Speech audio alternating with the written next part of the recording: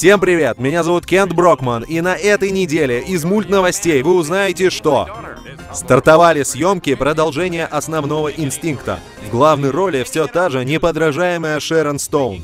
В российских больницах в последнее время стало настолько хорошо, что дети не хотят выписываться после родов. Педро Альмадовар снял свою версию сказки «Репка».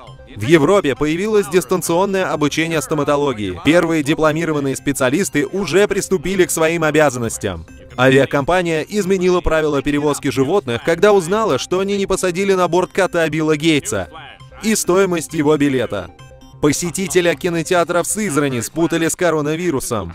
Это и многое другое смотрите в программе «Мульт новости». Мы говорим только правду, ведь все в мире предсказали еще в «Симпсонах».